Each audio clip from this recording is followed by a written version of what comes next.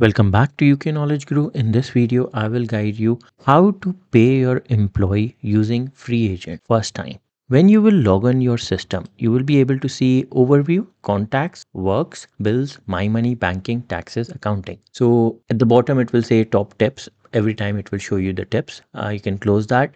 Um, over here, this is your dashboard where you can see your sales, your revenue, your outgoings because it's connected to your bank. So go to your my money and then pay run in Payrun, payroll you will have this option. It says sorry uh, submission was not done yet. So because i have tried to show you that how and what it works. So authentication failed and please ensure that your submission has been accepted by hmrc by 5th september. So this is still.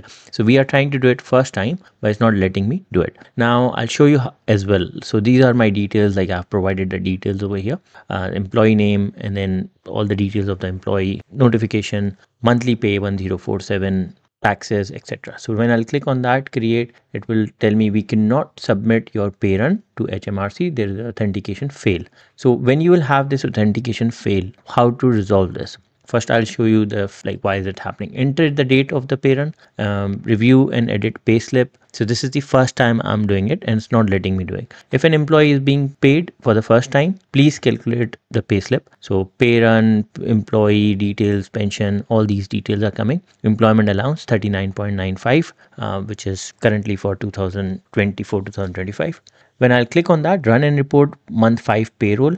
Um, to report your payroll you need to check guidance uh, what you will be reporting to HMRC about your payroll, how much you are paying to your employees, details of deduction like income tax, NI, uh, employee starting and leaving date, all these details will. So this is this system is connected to your HMRC. So when I'll click run and report payroll, it will give me so it will say that RTI submission it's your payroll is being submitted then it will give me the error like this your sorry we rejected your RTI submission now why it's doing that so let me show you that so when we are trying to pay what's happening because the online account is not created that's why the hmrc is giving error. So for that we will go on our business tax account first. And on this page you will be able to see add a tax to your account to get online access to a tax duty or scheme on that if you click on it it will take you to the page what tax do you want to add to your account so you have the options employers or intermediaries for example PAYE for employers or CIS. Second one is self-assessment for individual sole trader partners.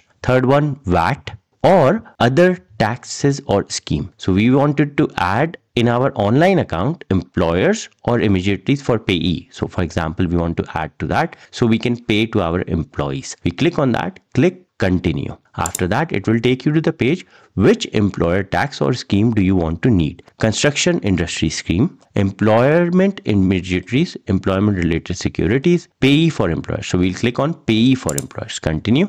Do you have an employer PAYE reference number? Yes, we have that. If you have not watched this video, watch this video. In this video, I have guided you how to apply PAYE number online. Okay. Click yes, continue. Now it says request access to PAYE for employers. You have the option employers PAYE reference number, accounts office reference or HMRC office number. So I'll put the details in and I'll request access.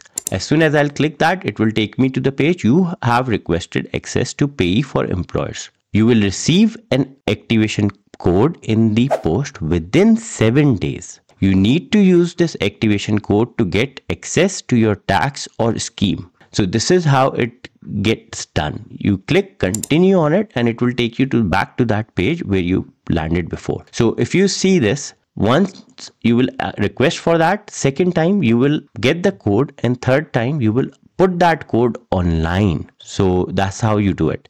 On this page, you have the other options, PAYE for employers. So PAYE employee reference number. So we will click on this side. Activate your PAYE for employers. So we have requested the code now. Now we will wait. And once we get the code we will put over here activate your PAYE for employers Without this, you cannot access online account. So your accountant will also need this. So 10 days to 7 to 10 days to get the PAYE reference number. And then after that, 7 days you have to wait for this. It also says if you do not activate your tax before 9th of December 2024, you will have to apply again. So the code is limited. After you have activated your PAYE for employers it can take up to 72 hours to show your details next option you have employment related securities on this page and you have all this option so this is how you do the activate your pay employer's number. So I have applied the corporation tax and this is how I have received the letter. It's in a brown envelope. So I have opened this envelope and this is the letter inside. Now to activate that, I will go on gov.uk website where I will go on my HMRC sign in account. I'll click on that and I'll go to the page where it shows the sign in ID and password. Once I've done that, I'll see this account, business tax account, view and access your business tax in one place. So you have the option over here, corporation tax. Your corporation tax reference number is this. Use this code to activate your corporation tax. So I have received the letter and there's a corporation tax code in it, which I'll use that. So I'll click on activate your corporation tax. Now this is like a 12 character code. You get this in your post like I said, and you put that like you don't give this code to anyone. Keep it to yourself because all these HMRC letters they are very important. If you give it to other people, it will be a problem. Click on get access. Once you put the corporation tax in, you can see you have now access to the corporation tax. Your unique corporation tax number UTR which we also call that you can also note down this number because sometime you forget these things so I'll recommend it's better to put that everything in your phone in one place your corporation tax your HMRC gateway click on continue and you will come to the page where it will tell you what next you need to do.